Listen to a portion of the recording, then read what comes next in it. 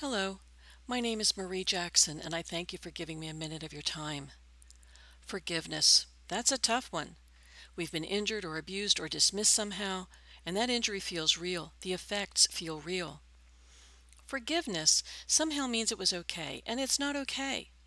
Forgiveness is not exoneration, it's not absolution. The responsibility for the injury must stay right where it is with the wrongdoer, and that's his path or hers to walk. Forgiveness is letting go of the trauma of an injury.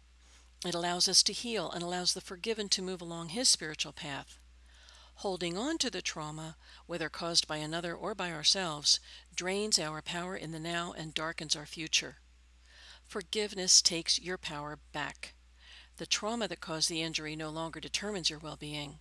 You do. Thank you for your time today. Stop by again when you have a minute.